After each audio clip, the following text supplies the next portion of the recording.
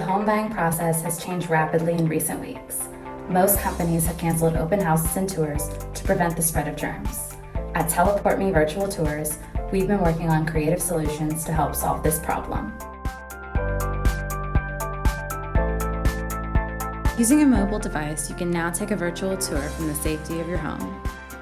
I just opened a portal in my bedroom, and as you can see, it's floating right in the middle of the room.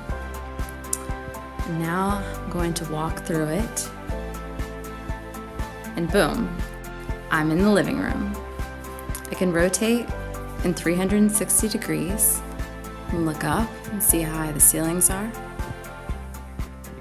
I can switch between rooms and check out the appliances. Now that we're all practicing social distancing, you can give your clients a sense of the space before they even set foot inside.